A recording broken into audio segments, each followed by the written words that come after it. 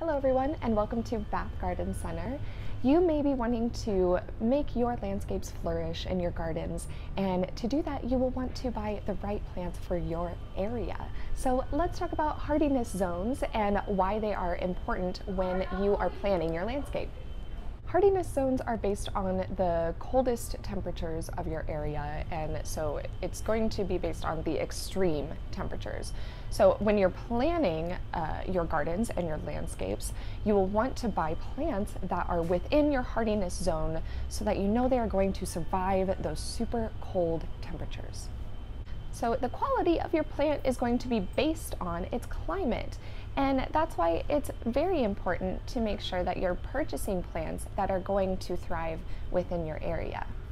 If your plants are not getting the right amount of sun or if they're in too harsh of a climate, they might not bloom or they might not just be as healthy as they should be. And that's why hardiness zones were developed so that you know which plants are going to uh, do best where.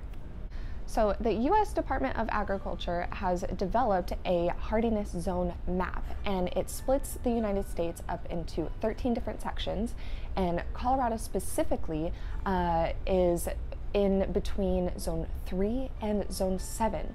So to determine specifically where you are on the map, uh, you'll want to look at these areas and find your zone.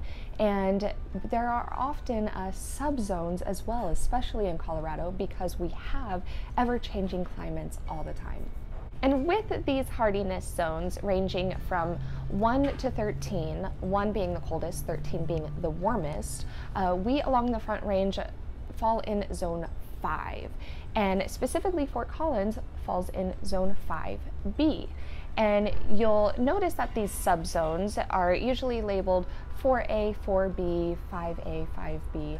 And along the front range, we in Fort Collins might be 5B, but say in the foothills, you might find 5A zone ranges. So that's why it's important to pay attention to these areas because temperature differences could be uh, all over uh, depending on your elevation you will usually find your plant's hardiness zone on its care tag. And perennials uh, are really what you are paying attention to when you're looking out for hardiness zones. When you're purchasing annual plants or vegetables or some flowering plants, uh, it's more important to pay attention to their growing season um, and their maturity period rather than a hardiness zone for these guys because you're not often going to get them coming back each year.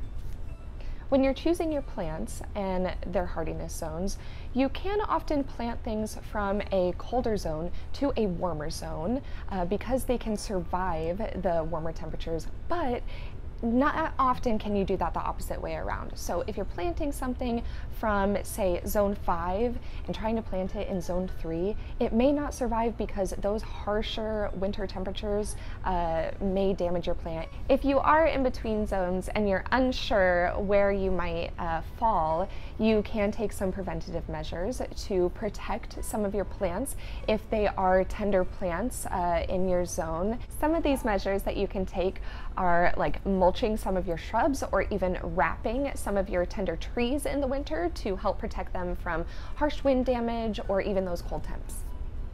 So our advice here at Bath, pay attention to your garden's climate.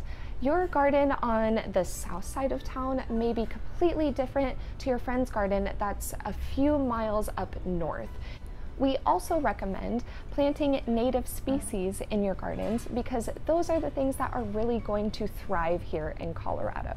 Here at Bath, we make sure that we pick uh, plants that are going to be specific for the front range uh, and that are going to thrive for you in our Colorado environment.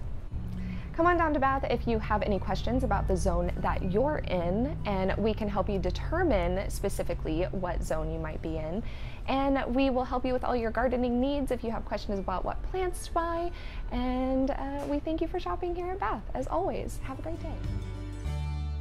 Zone, uh, actually, can we do that over outside of Oh, I wanted to say slightly. you can take to prevent that's not what I wanted to say. Ah. Specific to subzones. Sub subzones. Um, this keeps happening.